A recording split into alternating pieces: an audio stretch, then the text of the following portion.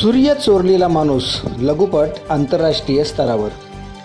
उल्हासनगरातील कलाकार सुशील पगारे यांचा सूर्य चोरलेला माणूस या लघुपटाची निवड आंतरराष्ट्रीय स्तरावर झाली आहे. जगभरातील चार हजार पाचशे नव्याण्णव चित्रपटातून ही निवड झाली आहे. उल्हासनगरचे रहिवासी असणारे सुशील पगारे या कलाकाराचा सूर्य चोरलेला माणूस हा लघुपट आंतरराष्ट्रीय स्तरावर निवड झालेला आहे. सरदार वल्लभभाई पटेल इंटरनॅशनल फिल्म फेस्टिवलने निवड केली आहे.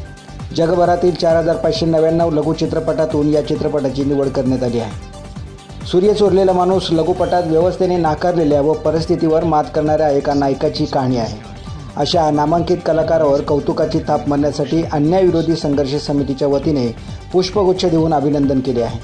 या कार्यक्रमाला अन्यायविरोधी समितीचे अध्यक्ष दिलीप मालवणकर नगरसेवक प्रमोद टाले माजी नगरसेवक शांताराम निकनसह नागरिक हजर होते.